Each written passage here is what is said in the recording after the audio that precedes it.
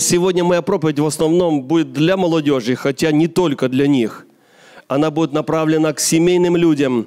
Я буду говорить о важных принципах построения и сохранения семьи. Но вначале я скажу вам несколько примеров, как вот в наше время молодежь женится и выходит замуж. Э, я говорил вам, что, будучи на Украине, я был свидетелем, я был просто на нескольких бракосочетаниях, и мне вот всегда интересно, а как люди познакомились, а как они вот женятся, выходят замуж.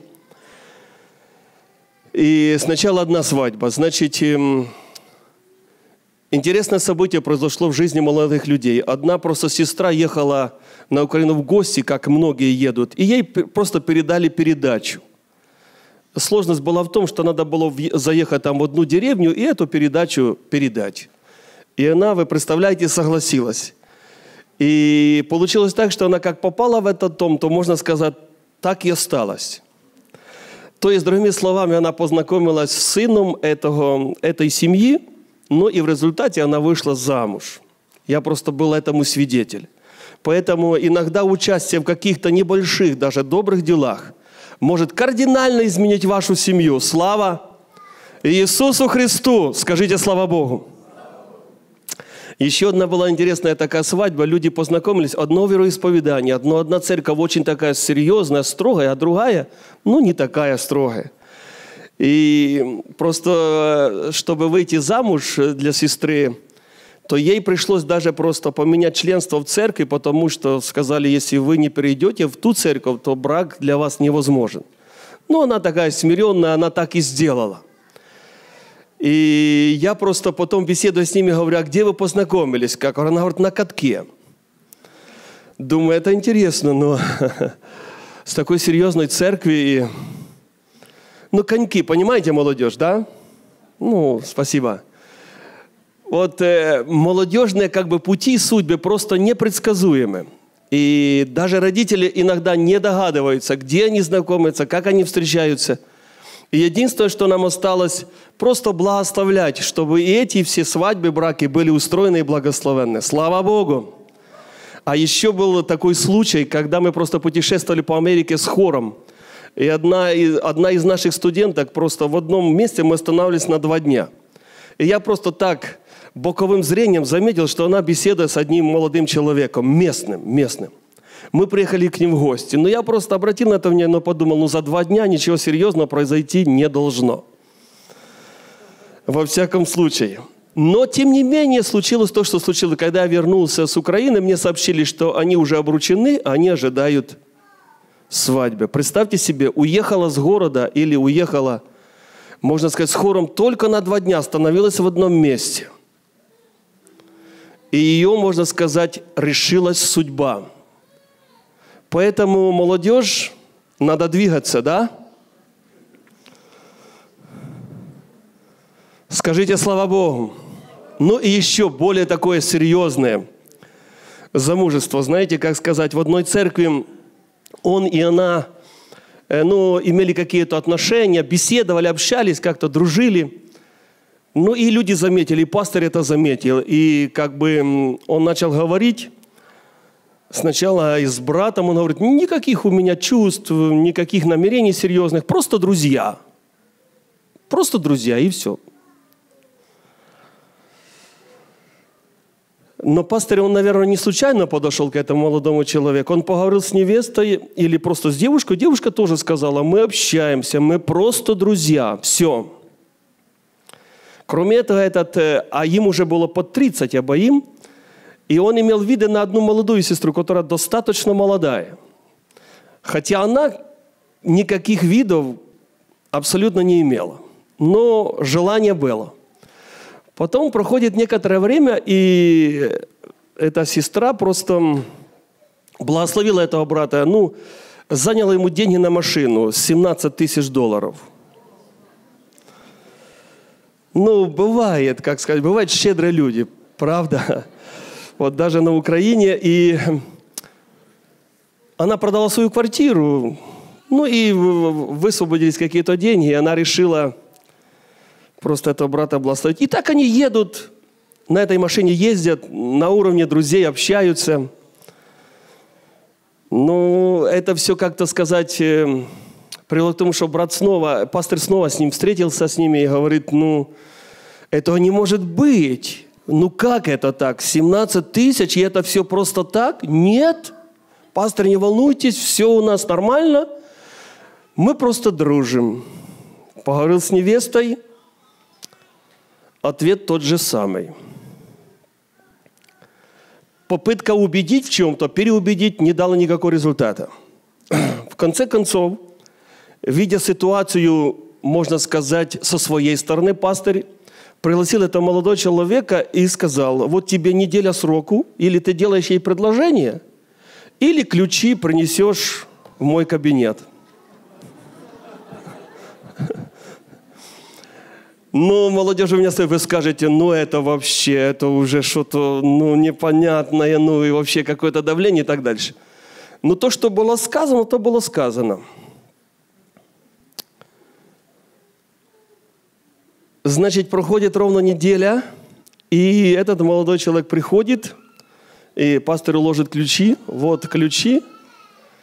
Я никаких чувств не имею, не собираюсь жениться, мы просто друзья – поговорил э, с невестой или с сестрой то же самое. Но говорю, может быть, может быть, я не все понимаю, может быть, вы мне не все рассказываете. Но извините меня, я вижу ситуацию совершенно по-другому. И я на том стою и не могу иначе. Но что интересно, при этом было сказано так, что вот ее мама, ей надо, предстояла операция – ее надо там было возить к врачам. И пастор говорит, ладно, я еще даю вам неделю, я понял твое решение, а потом через неделю уже возвратишь мне ключи. Но и не уехали кататься. И потом на следующий день приходит невеста или сестра, но и со слезами говорит пастырю, что я извиняюсь, что я была не совсем искренна пред вами, или другими словами обманывала, я действительно его люблю. И это все, можно сказать, для меня непросто, для нас непросто. Поэтому вы можете нас понять, как-то помогите решить эту ситуацию и так дальше. Я э, опять приглашаю этого брата, он говорит, ну, ты же видишь, что все не так просто, как как вы говорили мне, как оказалось все намного, намного сложнее, и ты должен думать, что делать. Ну, расстались на том, что еще неделю будут ездить на этой машине. И следующий этап самый интересный. Они едут в субботу на машине. Он, она и мама ее. Или просто будущая теща. И они едут в субботу на машине. Что интересно, что над нами работает Бог – и в том числе он работал над ними. Они имели какое-то направление, надо было принимать какое-то решение. И вот в субботу, когда осталось им два дня до того, как надо было возвратить ключи, они все вместе, путешествуя по городу, попадают в аварию. И не попадают в аварию так, что машина пострадала серьезно. Хотя это была новая машина, а они невредимы. Но самое главное, что произошло после этого, как только они просто пришли в чувство после аварии, он тут же сделал предложение. В воскресенье их объявили брак. Сегодня, сегодня они живут благословенной счастливой жизнью. Еще раз, еще раз. Вы можете прокрутить это, это реальный факт из жизни – Просто он понимал, что надо делать, но внутри как-то двоилось, троилось, он не понимал, ну не знал, что. И они молились об этом. И вот уже, казалось бы, ну, продлили неделю еще. В душе идет борьба. Но он уже до этого получил два сигнала через пастыря, потом еще один сигнал, что он это должен сделать. Но он сопротивлялся. Но когда они попали в аварию, он тут же сделал ей предложение – я не думаю, что вы слышали подобную историю, чтобы так молодые люди женились. После аварии люди обычно попадают в больницу, а эти оказались под венцом. Действительно, пути Господни неисповедимы. Но из этого урока я хочу, чтобы мы извлекали пользу. Безусловно, молодежь на многие вещи смотрит своими глазами. Люди старшего поколения, они видят все намного глубже, они смотрят в корень. И то, что молодежь не видит или пытается не видеть, они это уже знают или предполагают. Поэтому, чтобы правильно строила жизнь семья, то всегда написано в советующихся мудрость. Когда мы советуемся, когда мы решаем правильно жизненно важные вопросы, в том числе с пастырями, с родителями, мы никогда не ошибнемся. Я за то, чтобы наша молодежь, и не только наша, женилась, выходила замуж, и они были благословены в семье, в семейной жизни, в браке. Так родители, так молодежь. Поэтому сегодня мы продолжаем молиться за нашу молодежь, чтобы они просто делали правильный выбор, чтобы действительно церквя и семьи наши были благословенными и здоровыми – Сегодня я хочу проповедовать на тему оружие массового поражения. Оружие массового поражения. Кто-нибудь думает, о чем идет речь, или предполагает, о чем будет идти речь. Но я хочу вам сказать следующее, что когда, можно сказать, в истории человечества появилось ядерное или атомное оружие, то об этом оружии говорили, что это оружие – массового поражения. То есть это оружие, которое способно убивать тысячи, сотни тысяч и даже миллионы. Безусловно, когда мир или человечество услышало эту новость, они были потрясены. И какое-то время жили под определенным страхом. Но так устроена жизнь, что человек ко многим вещам со временем привыкает. И не потому, что эта опасность не существует сегодня, она осталась. Но тем не менее, мы к определенным вещам привыкаем. Но пусть Бог хранит нас от этих массовых убийств и разрушений. Я не буду говорить сегодня на какую-то военную тему, я буду говорить об оружии массового поражения, но которое относится ближе, ближе к нам, или о той ситуации, которая вокруг нас. Очень важно, очень важно, чтобы наша жизнь была благословена Богом. И если говорить, например, о браке, то многое зависит, благословение в браке зависит от добрачной жизни. Поэтому очень важно, чтобы все мы хранили себя чистыми и неоскверненными от мира. Есть такой вопрос в Писании – как юноше содержать в чистоте путь свой? Кто знает ответ на этот вопрос? Но я хотел бы, чтобы с этого, с правого фланга ответили. Но ответили люди старше. Хранением себя по слову твоему. Кажется, все просто. Это слово проповедуется в церкви, это слово вы читаете дома. Но не всегда у нас получается сохранять или хранить себя – но ничто так не оплачивается в зрелые годы, как чистая юность. Еще раз повторяю, ничто так не оплачивается в будущие годы, в зрелые годы, как чистая, сохраненная для Бога и посвященная Богу юность. Все это говорит о том, что нам есть о чем думать и рассуждать. Итак, как юноше содержать в чистоте путь свой? Хранением себя по слову твоему. Дальше послушайте. Первый псалом многие из вас знают наизусть. Его чаще других псалмов читают в церквях. Многие из вас знают наизусть этот псалом. Если нет, пожалуйста, выучите. Это вам жизненно необходимо. Он начинается такими словами. «Блажен муж, который не ходит на совет нечестивых и не стоит на пути грешных, и не сидит в собрании развратителей, но в законе Господа воля Его, и о законе Его размышляет он день и ночь. Но в законе Господа воля Его он не только не ходит, он не только не участвует в каких-то греховных делах, но воля Его в законе Божьем. И это предопределяет Его благословение и охрану. Но в законе Господа воля Его, и о законе Его он размышляет день и ночь. Когда-нибудь вы думали над этим вопросом, как это размышлять о нем день и ночь? Но днем-то еще понятно, а вот ночью нам сложно иногда все это представить. Но проблема для молодежи, и не только для молодежи, состоит в том, что часто они в течение дня они могут размышлять о законе Божьем. Но когда приходит ночь, они думают совершенно другом. И о законе Его размышляет он что? День и ночь. Проблема в том, что всякий грех, он разрушает какую-то жизненную грань в человеке.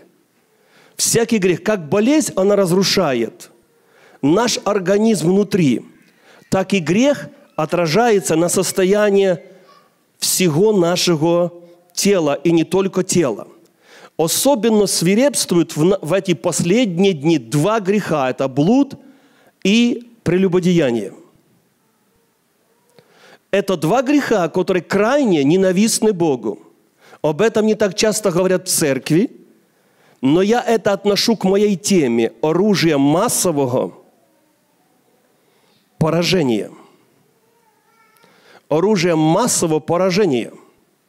В Библии написано, что много сильных убито ею. Имеется в виду женщиной, или же другими словами – посредством блуда и прелюбодеяния. Что меня удивляет в этом стихе, что написано много, не чуть-чуть, или мало, или не мало. Но написано много сильных убито ею. Причем написано не о людях слабых. Не о людях слабых, а о людях каких, что? Сильных. Я не случайно начал свою проповедь сегодня, можно сказать, с брачной темы. Почему? Потому что в Библии написано, что если не могут воздерживаться, то лучше пусть женятся или выходят замуж, или потому что лучше жениться, выходить замуж, нежели разжигаться. Проблема в том, что некоторые и не женятся, и воздерживаться что? Не могут. Но Библия говорит очень конкретные советы – на пользу каждому из нас. Это одна из причин, почему сегодня молодые люди, они в глаза даже не смотрят. Это одна из причин, почему сегодня не так много лидеров, проповедников и певцов среди молодежи, и не только среди молодежи. И много сильных убито ею. Мы живем в то время, когда, можно сказать, нравственные нормы общества не бывало низкие – то, что раньше считалось постыдным и грехом, сейчас воспринимается как нормальное явление и вещи. К сожалению, даже иногда среди верующих. Вообще беззаконие представляет любовь так, что там отсутствует всякий страх Божий. Человеческое общество дошло до того, что во многих странах этот грех узаконен на государственном уровне. Что я имею в виду? узаканивая или разрешая, поощряя гражданские браки, общество добровольно подписывает себе смертный приговор. Но мы должны знать, что блуд всегда унижает человека, поэтому тот, кто живет в гражданском браке, он не имеет ни мира, ни радости, ни покоя. Вы готовы сказать аминь? Совсем свежая история. Это было просто в роддоме, куда мы пришли просто посетить маму. И вот мама рассказывает, что ее там просто посещают, приходят врачи, приходят медсестры, и одна медсестра говорит, ну, расспросила за семью, за мужа, она видела их вместе, они, она видела их отношения, и она говорит, я каждый год жду День Валентина с одной надеждой, что мой муж, с которым я уже живу несколько лет в гражданском браке, сделает мне предложение. Она говорила это со слезами – Казалось бы, в ее жизни все должно быть нормально. Есть работа, есть муж, есть семья, есть дом. Но еще раз повторяю, блуд, он унижает человека и лишает мира, радости и покоя. Поэтому здесь очень важно правильное отношение и к ситуации, и к греху. Вообще в Библии написано, дела плоти известны. Это и в первую очередь это прелюбодеяние, блуд и так дальше – Если вы дочитаете все до конца, только один стих, то там написано ниже. Поступающие так или пребывающие в этом, Царство Божье вот что? Не наследуют. С другой стороны написано, плод же Духа, любовь, радость. Помните, да? И в конце стиха написано, на таковых нет закона. Это прекрасная свободная жизнь. Какие законы не издавай, на вас они не распространяются. Например, если бы в этой стране был издан указ, что даже минимальное употребление алкоголя осуждалось там, допустим, и длительными сроками тюремными, скажите, вы переживали бы за это? Я не думаю, свободный человек, он бы сказал, на меня, слава Богу, этот закон что? Не распространяется. А что бы, а что бы, о чем думали бы пьяницы? Вы понимаете меня? на таковых нет закона. Поэтому даже любая обличительная проповедь, самая строгая, она на них не распространяется. Почему? Потому что они живут, но в законе Господа что? Воля Его. И о законе Его размышляет Он день и ночь. Я извиняюсь перед теми, перед теми, для которых я с этой проповеди опоздал. Вообще она была у меня на сердце, еще когда были здесь студенты – я не сторонник каких-то таких серьезных обличительных проповедей, но я всегда за то, чтобы народ был хранимый Богом и жил побеждающей жизнью. Поэтому считаю, что это актуально и жизненно необходимо. Поэтому я извиняюсь, если к вам это не относится. Я думаю, что это будет просто напоминанием, предупреждением, а некоторых, для некоторых просто серьезной прививкой на будущую, святую, побеждающую, благословенную жизнь. Итак, что такое блуд? Это интимная связь вне брака. Вообще слово «блудить» по своему значению очень близко к словам «блуждать», «заблудиться», «заблудший». Блуждать, заблудиться, заблудший. Блудники – это люди, которые ведут нечестивую жизнь, грешащие своим телом. Сегодня вообще мир предлагает для молодежи сексуальную революцию. Но эта революция не освободила никого, а поработила очень и очень многих. Поэтому по числу беременности среди подростков США занимает первое место в мире среди развивающихся стран. Это серьезный сигнал для всех нас – Э, только в этой стране каждый год заражается той или иной веренической болезнью каждый четвертый подросток. И не надо думать, что меня все это обойдет. Но в законе Господа воля Его, только это сохранит вас от разрушения, падения и беды. Итак, каждый человек молодой, он стоит пред выбором. Какой же выбор – что мы можем иметь? Или растратить себя на удовольствие, секс и грех, или посвятить себя что Богу. Еще раз, выбор за нами, выбор за вами, или растратить себя на удовольствие, секс и грех, или посвятить себя Богу. Мой призыв к вам – храните себя до брака. Есть большая разница, когда молодые люди женятся в блуде – и когда они женятся, будучи свободны. Поэтому ноги нам даны, чтобы мы убегали от блуда. Написано, и я понимаю это так, что умный к пропасти не подойдет. Когда же молодежь переходит запретную черту, в результате она навлекает на свою жизнь позор, разочарование и горечь. На каком основании я это знаю – Послушайте, несозревшие плоды всегда горькие. Кто-нибудь был в саду и когда-нибудь кушал несозревший плод? Есть такие в зале? Есть. Если кто еще не пробовал, я советую это сделать. Когда вы будете где-нибудь в саду, ну, например, где-то там в мае, в июне, потому что обычно все созревает ближе к августу. Если вы возьмете этот плод и попробуете, попробуете скушать, он будет очень горьким. Он принесет расстройство в ваш, просто в вашу жизнь, в ваш желудок. Он будет неприятный. Поэтому плод созревший только какой сочный, благословенный и хороший. В Библии об этом написано так, 6 глава, 33 стих. «Побои и позор найдет он, и бесчестие ее не изгладится». Смотрите, какой суровый приговор. «И бесчестие его не изгладится». Поэтому брак в постели – это частая причина разводов. Запомните, что грех блуда не созидает и не скрепляет брак, но разрушает его. Но он всегда ослепляет. И люди, которые живут до брака, интимной жизнью, они ослеплены. Они никогда не в состоянии сделать правильный выбор. Они не могут рассмотреть человека как личность.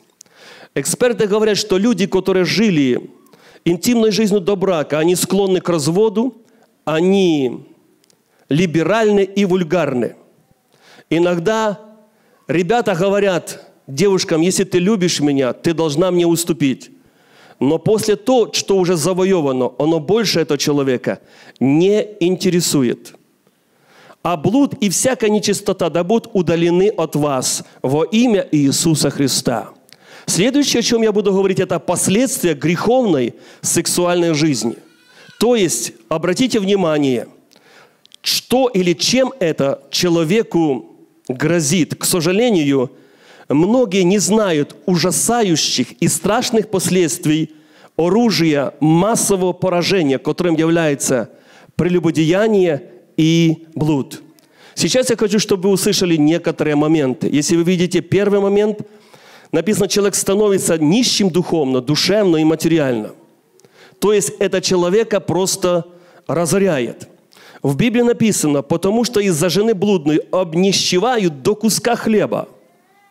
До куска хлеба. А замужняя жена, а замужняя жена уловляет дорогую душу. Обнищает человек до куска хлеба. Человек вправе думать, и многие так думают, что со мной этого не случится. Но я еще раз повторяю, грех этот лишает добра и имения. Он разорит вас. Человек просто деградирует, не испытывая неудовлетворения во всем. Одиночество и печаль – это удел блудников в старости, и не только в старости. Поэтому никогда не имейте дело с блудом и прелюбодеянием. Просто убегайте оттуда во имя Иисуса. Еще раз, человек становится духовно нищим. Духовно, душевно и материально. Один молодой человек говорит, я сейчас учусь, поэтому я не встречаюсь с девушками и сестрами. А почему же? Ты что, не собираешься жениться? Нет, я понял, что это требует много времени и денег. Поэтому я пока учусь. Я пока учусь, и это правда. И это правда. Следующий момент, что вы должны знать, человек губит душу свою. Я читаю притчи 6 глава, некоторые стихи. Кто же прелюбодействует с женщиной, то нет ума. Тот губит душу свою. Кто делает это, побои и позор найдет он, и бесчестие ее не изгладится. И бесчестие не изгладится. Вы можете дома прочитать всю шестую главу или хотя бы стихи с 26 по 23. Тот губит душу свою, то есть это приносит в жизнь человека позор, разрушение и срам. Это потеря здоровья и потеря самой жизни. Вообще плоды блуда всегда горькие, а действуют они подобно яду, который разрушает и убивает все. Блуд всегда ведет к смерти душевной и духовной, хотя это не случается сразу. И только искреннее покаяние может человека восстановить во имя Иисуса. Следующий момент – последствия греховной сексуальной жизни. Момент номер три. Блуд угрожает жизни и ведет к кровосмешению. Блуд угрожает жизни и ведет к кровосмешению. Что это значит? Вообще брачный завет основан на крови и говорит о том, что один человек веряет свою жизнь другому. Это отношение что? Завета. То есть через кровь одного человека к другому переходят грехи, проклятия, проблемы и болезни. И вообще любая защита, в том числе и презервативы, это слабое оружие против бесов. Запомните это. Проклятия приходят в жизнь родителей и детей. Дети почти всегда несут вину родителей за подобные действия и явления. Я это говорю очень и очень серьезно. Написано, через женщину-христианку человек что? Освящается, а через блудницу он что? Оскверняется. Берегите себя, берегите жизнь. Следующее последствие греховной сексуальной жизни. Он, написано, оскверняет все тело. Читаем вместе стих 1 Коринфянам 6 глава, 15 стих и дальше. «Разве не знаете, что тела ваши суть члены Христовы? Или не знаете, что совокупляющийся с блудницей становится одно тело с нею?» Другими словами, секс, он освящен браком и сотворен для брака. Вообще количество разводов в Америке прямо пропорционально количеству или потере девственности. Поэтому этот грех, все позитивное, он превращает в негативное. Он разрушает жизнь. Вообще, как Бог относится к подобным грехам? Я уже говорил, некоторые отношения Бога еще. Неверность в отношениях разрушает брак и осуждается и наказывается Богом. Что это значит? В Старом Завете под, под страхом смертной казни израильтянам запрещалось всякое блудодеяние. Если девушка теряла девственность до брака, и это было узнано, то не только расторгался будущий брак, но ее побивали камнями, причем делали это на глазах всех, чтобы прочие имели страх. Вот почему это важно знать и слышать. Представьте себе, вы все царские сыны и дочеря. То есть вы удостоились благодаря Богу и Его спасению быть детьми Божьим, называться царской дочерью. И вот в один момент эта царская дочь опозорена. Она приходит в ужас и страх. Почему? Только это потому, что человек не ценил своим достоинством. Он любовь к Богу променял на временное удовольствие и грех – он как бы отвернулся от Бога. Вот почему этот грех, он крайне ненавистен Богу. Следующий момент, последствия греховной сексуальной жизни. Момент номер пять. Человек будет наказан самим Богом. Что это значит? Послушайте. Евреям 1, 3, 4. Брак у всех да будет честен, и ложа непорочно, блудников и прелюбодеев судит Бог. Давайте скажем вместе, блудников – и прелюбодеев судит Бог.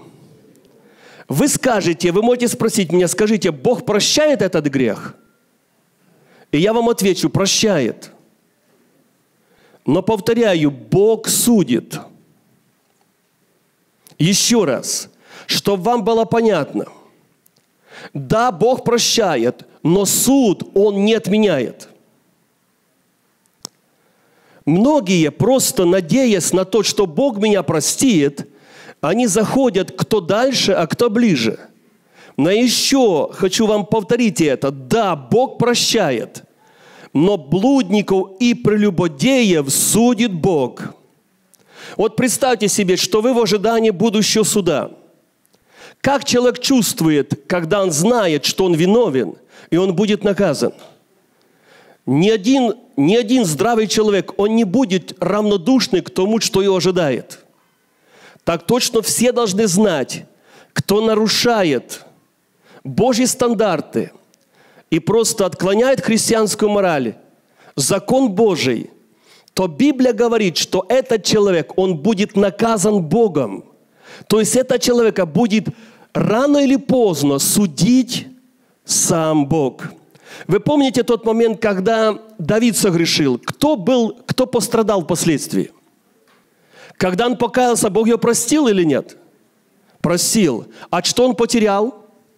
Сына, ребенка. Часто дети первые страдают за вину родителей. Родители разводят руками, они не могут понять, что происходит с их сыном.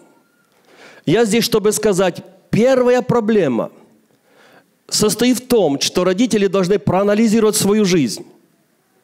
Если в вашей жизни присутствовали подобные грехи, то я не исключаю то, что в вашу жизнь пришел суд Божий. Безусловно, это неприятно слышать, но это то, что я читаю в Евангелии. И это то, что я наблюдаю в реальной жизни. Путешествуя, бывая в различных семьях и домах, я просто явно вижу своими глазами суды Божьи. В Библии написано, разве не знаете, что вы храм Божий, и Дух Божий живет в вас? Если кто разорит храм Божий, то покарает Бог. И этот храм вы. То есть, другими словами, может ли быть не наказанный тот человек, который разрушает храм Божий? И мой ответ, что не может. Всякий, кто совершает грех против собственного тела, тот разрушает что? Храм Божий. Итак, еще раз. Блудников и прелюбодеев судит Бог. Никто этого суда не избежит. Никто. Вы будете дело иметь непосредственно с Богом, рано или поздно. Рано или поздно. И ваш выбор небольшой – принять это и просить милости у Бога, чтобы Он помиловал вас в своих судах, потому что Его милость превозносится над судом. Следующий момент. Послушайте, шестой момент – это последний. Они Царство Божье не наследуют – Читаю стих из Библии 1 Коринфянам 6, 9, 10. «Или не знаете, что неправедные Царство Божие не наследуют? Не обманывайтесь, ни блудники, ни идолослужители, ни прелюбодеи, ни малаки, ни мужеложники, ни воры, ни лихаимцы, ни пьяницы, ни злоречивые, ни хищники. Царство Божие что? не наследуют. Другими словами, не обманывайтесь, не рассчитывайте на то, что вам удастся обмануть Бога. Не рассчитывайте. Не рассчитывайте на то. Еще одна истина, послушайте меня внимательно. Этим грехом блуда в первую очередь согрешают или он поражает в первую очередь самоуверенных и гордых людей. Еще раз – Грех блуда и прелюбодеяния, он поражает самоуверенных и гордых людей. Запомните это. Почему? На каком основании это говорю? Потому что в Библии написано, падению предшествует что? Гордость. Еще раз, падению предшествует гордость. И как только человек возомнил о себе, о своей красоте или еще что-нибудь, он рано или поздно попадает в эту петлю. Потом он в глаза тебе уже не смотрит. Вас, например, не удивляет то, что, например, люди, которые имеют высшее образование, они закончили университет, они сегодня не могут и помолиться серьезно, и проповедь сказать, или что-то спеть в духе. Вас это не удивляет? Часто причина, почему это происходит, только потому, что они где-то где-то терпят поражение. Может быть, это... Вы знаете, когда я говорю о блуде, то я имею блуд во всех формах и проявлениях. Что, что я хочу сказать этим? Что грех или подходы к греху, они постоянно меняются. И сегодня, можно сказать, совершаются такие прелюбодеяния блуды, которые раньше вы, может быть, и не слышали, и не думали о них – Люди изощряются, чтобы достичь желаемого, но не обманывайтесь. Бог поругаем, что не бывает. Поэтому, когда я вижу подобное, мое сердце скорбит. Одна из причин, почему люди просто, они ходят в церковь, они живые, но они уже умерли – Почему это происходит? Потому что много сильных убито ею. Может быть, это не конкретный секс, может быть, это просто вами любимая порнография. Может быть, это просто грязные сайты. Может быть, это твое время, проведенное у телевизора. Может быть, это твое разнообразие, которое ты постоянно ищешь и никак не можешь удовлетворить себя ничем. Поэтому сегодня я хочу, чтобы мы, как христиане, обратили на это самое, самое серьезное внимание. Запомните, что за блудодеяние надо будет платить, причем очень и очень дорого. Именно этот грех привел к погибели в одно время 23 тысячи израильтян в один день. Вы ничего подобного не найдете в Библии. Вот почему я все основания имею на то, чтобы говорить об оружии массового поражения. В Библии написано, не станем блудодействовать, как некоторые из них блудодействовали, и в один день погибло 23 тысячи. Скажите, пожалуйста, хотя бы мысленно подумайте, сколько сегодня погибает в наше время в один день. Если нам эта статистика неизвестна, она известна Богу. Но я хочу вам сказать, ничто, ничто так не поражает сегодня общество вокруг нас, в том числе и христианское, как блуд и прелюбодеяние. 23 тысячи – в Библии написано, что побои позор найдет он, и бесчестие его, что не изгладится. Ты потеряешь власть, ты потеряешь достоинство, ты потеряешь авторитет в духовном мире. Ты потеряешь жизненную опору, ты потеряешь все за кратковременное, минутное удовольствие. Поэтому я хочу, чтобы мы сегодня просто встрепенулись. И если эта проповедь к вам мало относится, я хочу призывать вас, послужите тем, кто помоложе. Предупреждайте, убеждайтесь, убеждайте, отвлекайте, оберегайте, иногда запрещайте, но помогите тем, кто помоложе, выжить, побеждать, и Бога прославить. Мы живем в последнее время, когда тьма сгущается. И послушайте, не имеет отношения или не так важно, какое количество сегодня тех, которые делают подобные преступления. Многие просто успокаивают всем, что так живут многие. Но я еще раз повторяю, блудников и прелюбодеев судит Бог. И этого суда на каждого будет вполне достаточно. Запомните это. Он прощает, но Он что? Судит. Как же нам сохранять себя, как нам жить побеждающей жизнью? Запомните, скука и праздность – идеальная почва для сексуальных грехов. Если вы не заняты серьезно в служении, послушайте, даже если вы посещаете церковь, я не удивляюсь, если вы падаете, например, в подобные явления и грехи – Некоторые люди смотрят телевизор или там компьютер, и они говорят, мы в основном учим уроки или там социальные программы. Ну, бывает так, признаются некоторые, за полчаса я там кликну не туда, куда надо. А так в основном я держусь правильного направления. Но бывает. У вас это бывает в течение часа, полчаса, некоторым и 10 минут не хватает, чтобы не уйти в сторону. И, как говорят, тогда уже что? Тогда уже понесло. Скука и праздность – это идеальная почва, чтобы человека погубить, чтобы человек был похоронен, чтобы просто человеку упасть. Труд для Господа и здоровое общение – это лучшая защита от греха. В Библии написано «юношеских похотей убегай, а держись правды, веры, любви и мира со всеми, призывающими Господа чистого сердца». Вы знаете, некоторые хотят жить побеждающей жизнью. Послушайте. Они пытаются от этого греха убежать. Но их проблема в том, что они, они убегают от греха и убегают от тех, кто держится Бога искренним сердцем. Они чувствуют, что с этими людьми нам не по пути. Они ищут подобных себе. Поэтому и грехи у них, к сожалению, общие. Но Бог говорит сегодня, выбирайся – из этой мутной воды во имя Иисуса, пока она не накрыла тебя окончательно с головой, пока ты не погиб. Мы сейчас идем к молитве. И я хотел бы, чтобы мы молились за благословение наших детей, нашей молодежи и всей церкви.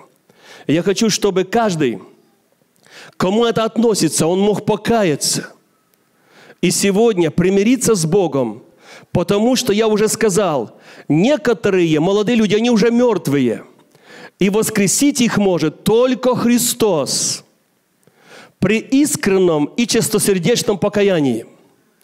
Поэтому последнее, о чем я хочу сказать, вы внимательно послушайте, мы будем молиться. Вы помните историю, когда Бог освобождал израильский народ из Египта, и Он поднял Моисея. Вы помните этот момент?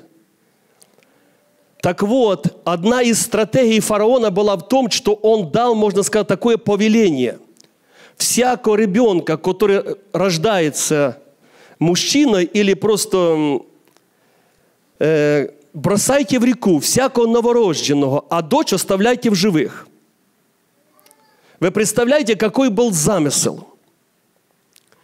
Всех, всех просто парней, всех ребят бросайте в реку, а дочерей оставляйте в живых.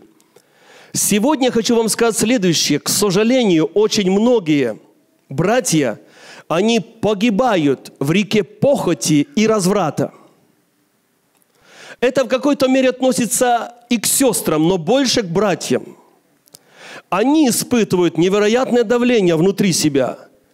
И просто сам дьявол толкает их на грех, если они не контролируют свои похоти.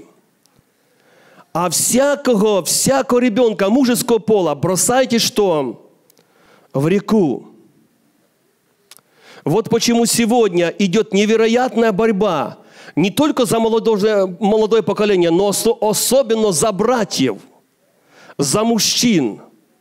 Вы знаете, что, например, когда закончилась вот Великая Отечественная война с Германией, то проблема была в том, что практически девушкам, женщинам, которые остались, у них некого было выходить замуж. За кого? Почему? Потому что все мужики погибли что? На фронте. Запомните, в духовной битве так точно происходит. В первую очередь погибают кто? Сыновья.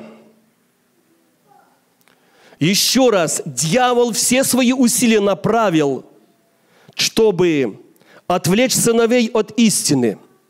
Вот почему сегодня можно наблюдать такое явление, когда приходишь в церковь, 30 человек, 30 сестер и один брат. Вы понимаете, о чем говорю я? Вот почему сегодня сестер в каждой церкви больше в основном, нежели что? Братьев. Почему? Потому что дьявол все свои усилия направил на кого? На сыновей. Я хочу сегодня спросить вас, я хочу это говорить себе, где сегодня молодые проповедники – где сегодня яркие, сильные лидеры? Где сегодня молодые певцы, служителя? Где они? Это проблема номер один в современном обществе. Очень непросто найти даже для большого количества молодежного руководителя. Слава Богу, что они еще что? Есть. Но дьявол не останавливает своих попыток, чтобы разрушить все до основания. Поэтому я хочу сказать вам, пока вас еще не поглотил этот мутный поток, у вас есть шанс сегодня пред Богом покаяться и восстановиться во имя Иисуса Христа. Запомните, путь к исцелению, он открыт в Слове Божьем, но в законе Господа. Воля Его. И о законе Его он размышляет, что? День и ночь. Я приглашаю группу. Пожалуйста, группа, придите ко мне. Мы сейчас будем молиться еще раз. И о законе Его Он размышляет день и ночь. Вы проверьте свои мозги. О чем вы думаете? Чем занят ваш разум сегодня? И о законе Господа Бога Он размышляет день и ночь. День и ночь. Я хочу, чтобы вы сейчас что-то важное услышали. Где нераскаянный грех – вас ожидают серьезные проблемы в будущем. Еще раз, если в вашей жизни есть нераскаянный грех, вы сами определяете свое будущее таким, что вы будете встречать очень серьезные проблемы. Библия об этом говорит так. Скрывающий свои преступления не будет иметь успеха. Не будет иметь успеха. А кто сознается и оставляет их, тот будет что? Помилован. Я обращаюсь к родителям. Сегодня нам необходимо усилить молитву за подрастающее поколение. Только Бог, Он способен сохранить молодежь от падения. Сегодня наши молодые семьи, они испытывают серьезное давление. Дьявол атакует их с разных сторон, внося свои предложения, свои мотивы, разрушая их жизнь на уровне разума и на уровне всей семьи. Поэтому, чтобы Бог сохранил нас и наших детей, нам надо сегодня об этом серьезно молиться. Я предлагаю всем вам идти путем смирения и покаяния. Скрывающий свои преступления не будет иметь успеха. Вы сами себя лишаете этого успеха. А кто открывает, кто покается, тот будет помилован. Все, что мы скрываем до брака, это мина, мина замедленного действия. В будущем оно обязательно рванет. В будущем оно обязательно скажется на твоей жизни. Поэтому я верю, что сегодня сам Бог желает вытащить многих из этой реки, мутной, грехи, мутной реки греха и разврата. Если вы чувствуете, что ваша жизнь сексуально не является чистой, даже если вы живете в семейной жизни. Если вы чувствуете, что вы в этом виновны, если вы имели секс в любом виде, сегодня момент истины. Вам надо срочно покаяться, пока этот мутный поток окончательно не поглотил вас. Грех, он способен укореняться и множиться. В будущем избавиться от него будет очень и очень непросто – Хорошо, если вы сделаете это вовремя. Поэтому меня утешает вот это слово. Псалом 17, 17. Он простил руку свою с высоты и взял меня, и извлек меня из вод многих. Он простер руку свою с высоты. Рука Божья, она простерта и на это место. Он в состоянии достать тебя, где бы ты ни был, поднять тебя, восстановить тебя и спасти и извлек меня из вод многих. На основании этого слова я знаю, что Христос, Он является лучшим пловцом и спасителем. Он один, который может спасать от греха и разврата. Слава Ему во веки веков. Много спасателей на реках и океанах, но Он единственный над землею. Он простер руку свою с высоты чтобы извлечь тебя из греховных вод, из вод многих. Почему это важно знать? Потому что не всегда так будет. Послушайте, говорят так, что когда человек тонет, он идет ко дну, но возвращается назад трижды.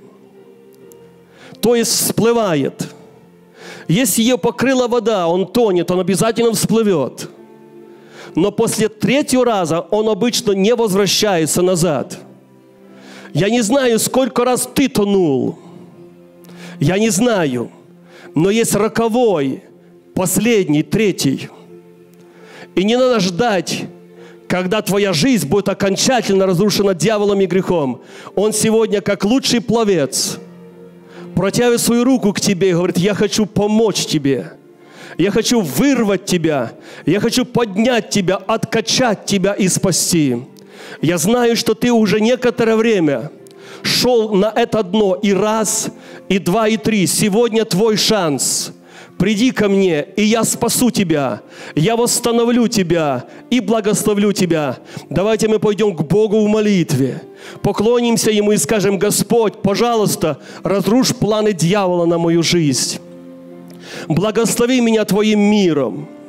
Прими мое покаяние и услышь мою нужду. Я обращаюсь к тем, кто слушает нас по телевизору – Если в вашей жизни присутствует этот грех, прелюбодеяние или блуд, запомните, рано или поздно он разрушит вашу жизнь, разрушит вашу семью. И только искреннее покаяние, оно способно восстановить все. Придите к Богу там, где вы есть, и просите милости у Бога. Он вытащит вас из этого болота. Он поставит вас на камень. Он даст тебе правильное основание в жизни. Он сохранит ваш дом от разрушения. Ему слава во веки веков. Во веки веков.